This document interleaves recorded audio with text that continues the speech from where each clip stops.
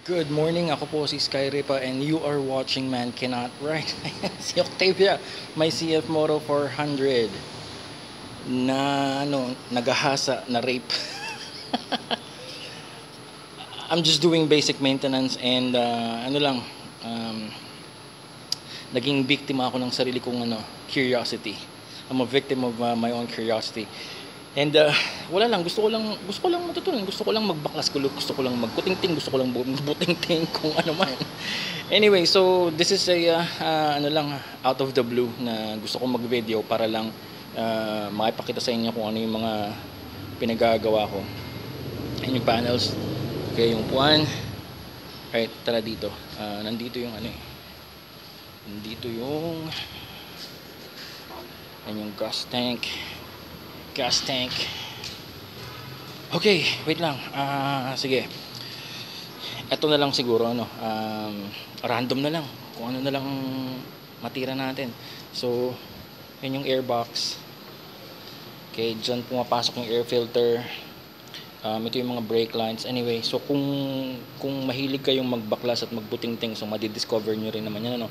Ito na lang siguro magbibigay na lang ako ng mga counting tips na natuklasan ko yung air filter ng CF Moto ito ganyan yan na.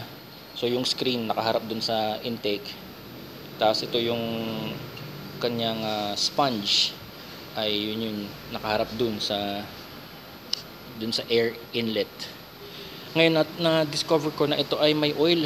So para siyang ano alam parang yung mga aftermarket na K&N filters na merong oil. At yung oil na yun ay ginagamit para kumapit sa kanila yung dumi para hindi mahigop papasok dun sa intakes.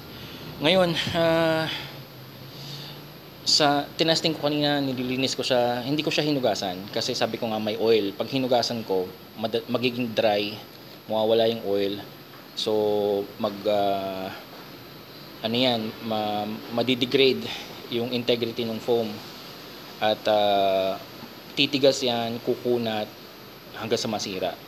So may dahilan kung bakit yun nilagyan ng uh, ng oil. Katulad nga ng uh, K&N filters, i-research nyo. But anyway, uh, kanina sinusubukan ko sa vacuum test tsaka sa blower test. Ramdam ko na talagang very restricted, very restrictive ang stock air filter. Yeah, okay, so ngayon, kung, kung ang inyong motor naman ay uh, stock at wala naman kayong gustong gawin sa kanya in terms of power, okay to. Okay na to. Sapat na sapat na to. Pero kung uh, if you're looking for more power, eh tandaan niyo yung simpleng formula, 'di ba? Horsepower, yung power ng engine comes from air and fuel. More air, more fuel, more power. Okay, hindi pwedeng more air lang kasi pag more air tapos ganun pa rin yung fuel delivery, pwede lean, sobrang lean. Kapag naman puro lang kayo fuel, fuel ang dagdag pero very restricted naman o hindi mo naman magagawa na mas maraming hangin ang pumasok. So yung flow, ng, yung airflow ay hindi mo ma-increase. So magiging sobrang rich naman ng mixture. So yung over lean tsaka yung over rich mixtures o yung AFR, air fuel ratio, masisira yon. Pag nasira yon, so hindi magagawa ng motor yung kanyang maximum na potential kasi merong sweet spot for better power and better performance. Okay, in my research at in my experience, ang uh, air fuel ratio na maganda for for the for for the best power possible is nasa 12.5 hanggang 13.2 yung AFR. Ang uh, ano yun, nasa rich side ng kaunti yun. Ang AFR ng mga stock na makina, yung coming from the factory, ay nasa 14.7. So yung 14.7, kapag bumaba ka doon, yeah, sorry, kapag bumaba ka, magiging rich. Sa 14.7 naman, kapag tumaas ka, magiging lean. Ayun. Ngayon, yung 14.7, yun yung pinakamaganda coming from the factory, yun yung pinakamaganda for emissions. Yun yung pinakamaganda for efficiency. Yan. Pero hindi siya kagandahan for power. Bitin pa sa power yun. Kaya yung best AFR nasa 12.5 to 13.2 AFR. So medyo rich ng konti. Ayan. So yung AFR na yun, yun yung i-maintain mo para makapag-produce ka ng, ng efficient power or ng magandang power. So if you increase the airflow, yan, nagpalit ka ng aftermarket air filter, so dapat babaguhin mo rin yung fueling from the ECU, yung fuel delivery, yung sa injectors, para ma-maintain yung AFR, but you are creating more power. Kasi more air, more fuel, more horsepower. Ayun. Uh, may, nagkaroon lang ako ng problema dito kasi gusto kong tanggalin yung airbox. Madali lang naman yan eh kasi meron lang dito sa loob na yung clamp dun sa intake yung sa doon sa dalawang intakes. Ang problema ko, itong clamp dito, nakatago yung screw.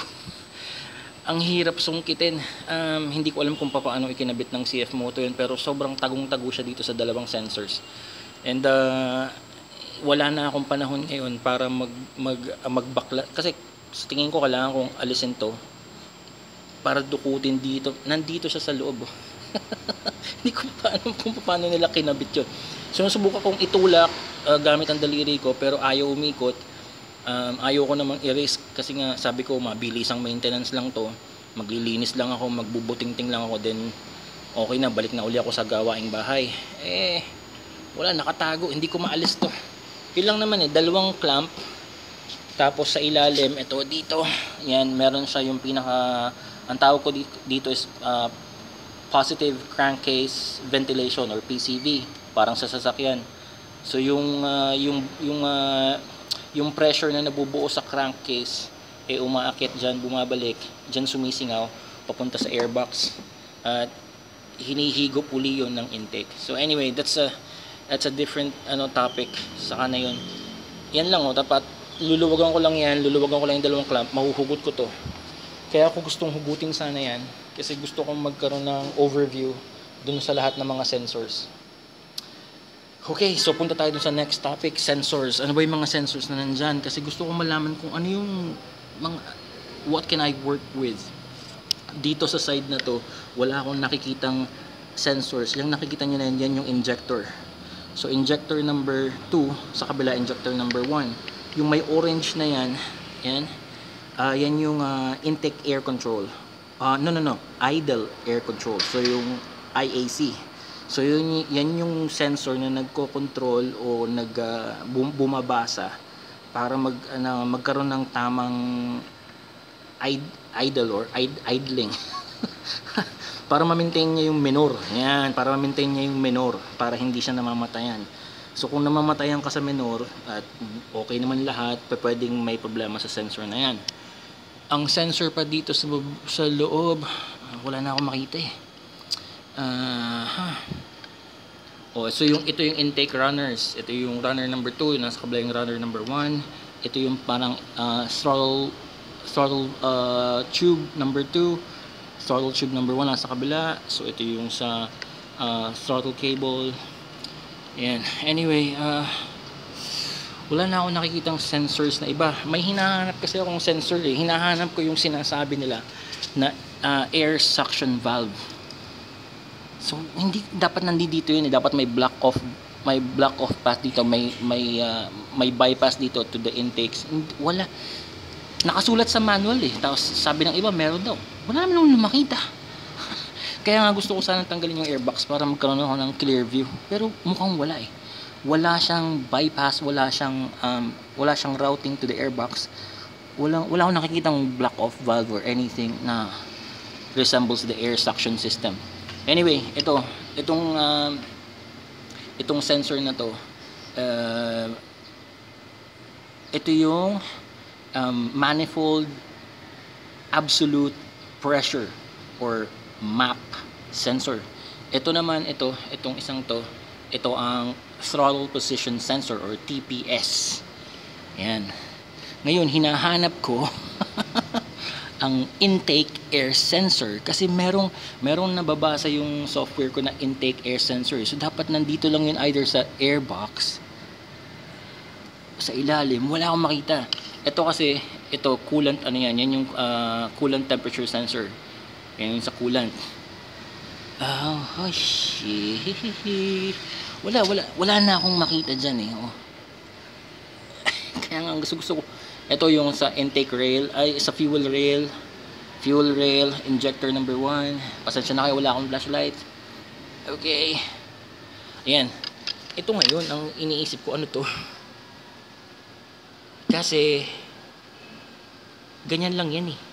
Wala siyang connection wala akong nakikitang wires or meron wire sa loob. Kaso kung may wire yan sa loob saan lalabas yung wire? Saan magko-connect yung wire? Wala eh. Wala siyang pupuntahan. Anyway so kaya ako yung gustong buksan para hanapin ko yung kung meron nga ba na air suction system itong CF Moto na sa tingin ko ay wala. At yun nga hinahanap ko rin kung nasan yung air ah, yung intake temperature sensor. Intake temperature. Yung air intake temperature sensor. Hindi ko rin makita kung nasan so nakita ko na yung TPS nakita ko na yung m- yung map sensor nakita ko na dun sa kabila yung ito to yung um, IAC or idle air control ah, valve. Sa nakita ko na rin ang no, yung mga injectors of course yan nakita naman dyan yung head. So yan yung coil overplug coil overplug. Anyway so baka maubusan ako ng battery and uh, memory. I, ibabalik ko na lang muna uli silang lahat kasi na, nalinis ko na naman tapos baka umulan. Ah, hihirit sana ako ng ride kaso wala eh. Mukhang uulan na naman o nga pala ito yung evaporative system or evap system. Ito inaaral ko rin to kasi may ano, gustong gawin dito tulad, ng ginawa ko sa race car ko. Evap system. Ah, yan yung mga vacuum tubes na ayan. Sa, sa, saan ako gagawa ng video para dyan? Ito yung connector para sa fuel. Ito yung connector para sa fuel pump. Ito yung para sa um, fuel uh, fuel level itong valve na to is yung para sa evap evaporative. Yan yung mga relays starter. Uh, ah, starter. Relays. Mga fuse. Nandito. Ano pa ba? Ito yung sensor na to this is the the uh, crankcase position sensor. Yan yung wire niya nakakonected dyan at dun ito nakakonected dito. Tapos ito this is the uh, fuel pressure ay no no oil pressure uh, sending unit.